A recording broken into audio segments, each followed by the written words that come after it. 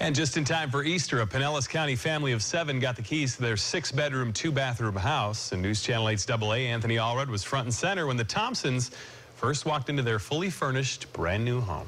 I thank everybody for being here today. After working more than 400 sweat equity hours, first time home owner Keona Thompson was given the keys to her brand new home. My grandma didn't own her own home.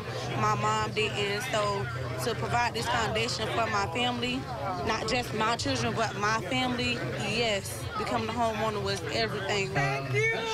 Thank you, Jesus. After a brief ceremony, the Thompsons, for the first time, got the grand tour of their six bedroom home. Wow, it's like a dream that came true. It's like it's, the words can't even come out. I'm, uh, my, my face is so happy, and my, my heart is like, she did it. She did it. And thanks to former Bucs running back Warrick Dunn, Thompson already had $5,000 on her first mortgage payment, flat screen TVs, and beds in every room. You know, when I lost my mom, a community stepped up for me. So I, I just think it's, uh, it's kind of my second nature to, to want to help.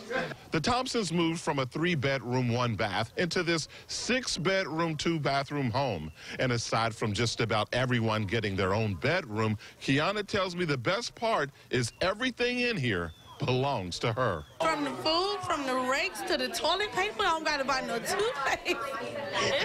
yes, everything, everything. Wow. And once everyone, kids included, gets the heck up out of the home, Thompson can't wait to privately celebrate. I feel like I'm holding it in, just like it's it's just underneath me. But I just can't wait to shout behind those doors and give God praise for this moment, for the opportunity. I just can't wait.